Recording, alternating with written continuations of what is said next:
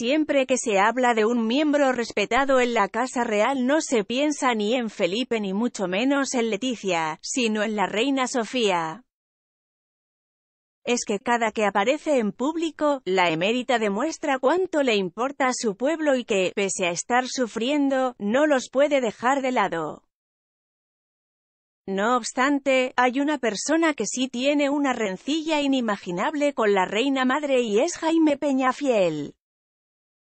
El periodista, uno de los más especializados en monarquía, ha desvelado cuánto le dolió un accionar que la madre de Felipe VI tuvo hacia él.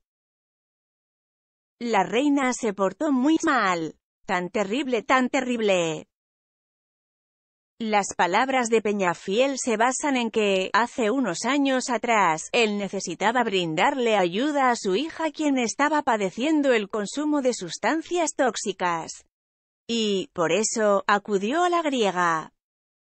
La reina preside una fundación sobre las sustancias y le pedí una audiencia cuando me enteré de que mi hija estaba enganchada porque necesitaba hablar. Ella no me contestó y le pasó mi carta al rey.